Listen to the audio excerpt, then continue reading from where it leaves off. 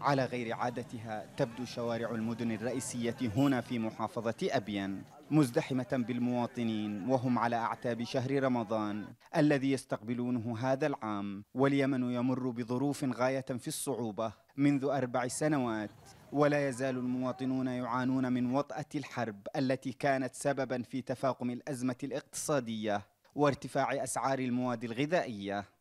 خصوصا مع شهر رمضان عادها تتزايد يعني يعني يزيدوا أضعاف أضعاف الغلاء يعني تجارتهم يعني يحبوا يعني الغلاء يعني في أيام رمضان بالذات تجارتهم يعني يحبوها وأرباحهم في شهر رمضان.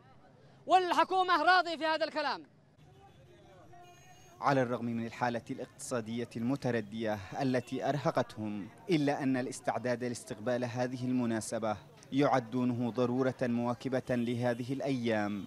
حتى وإن وجد التجار فرصة لاستغلالهم ورفع أسعار المواد والسلع الأساسية في ظل عدم وجود أي رقابة حكومية وعدم متابعة الأسواق. التجار والله لحد الآن إحنا مش عارفين عليهم رغبه وما عليهم رغبة. يطلع وينزل الراشن. الأسعار مرتفعه جدا بالنسبة للمواطنين. الرواتب متأخرة رواتب الناس متأخرة وهذا سبب يعني مع قبول اقبال شهر رمضان المبارك والناس يعني في حاجة ناس إلى تمين بيوتهم. استعداد شهر رمضان المبارك لكن الأسعار الأسعار في ارتفاعات مستمرة دائما.